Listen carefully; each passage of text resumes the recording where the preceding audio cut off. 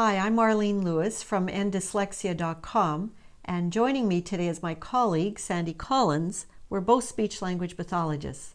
And Sandy, a question that comes up quite often is can we actually end dyslexia? Some people are skeptical about that notion. And um, what is your experience with that?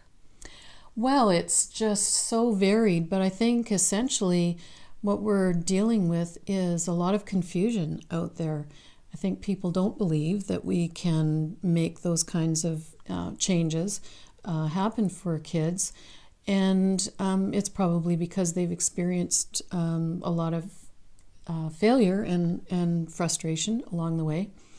I think that um, one of the things that needs to happen is uh, education of the public so that people understand that brains can change. And we've known that for a long time. The research is really clear. We know that's what learning is brain change.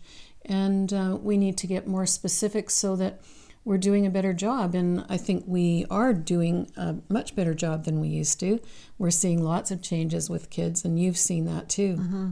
Yeah the thing that you know makes such a difference today and why uh, you know why we're we're doing the work that we're doing is that today we actually have the tools to get down deep enough into where the problem really begins the problem of dyslexia really begins.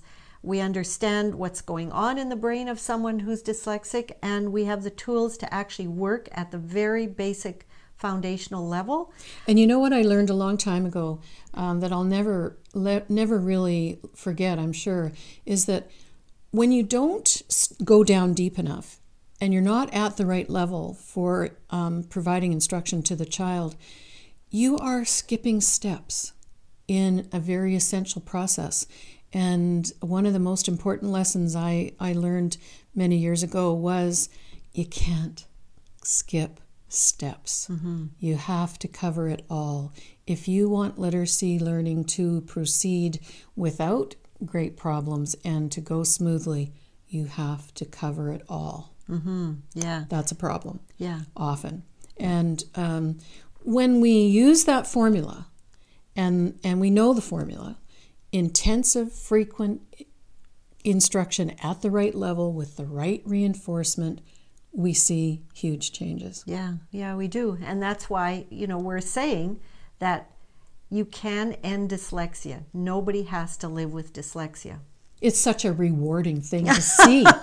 it's amazing. Yeah, because it also it also can it's it can be turned around relatively quickly and that is so extraordinary to see kids who are discouraged, parents who are discouraged and then in no time flat, kids are starting to read signs and they're starting to uh, focus on things and they're picking things up that they never picked up before and they're starting to pick up spontaneously pick up books. And it's just you know parents are so thrilled. I'm so thrilled too but parents are just so thrilled when they when they see this change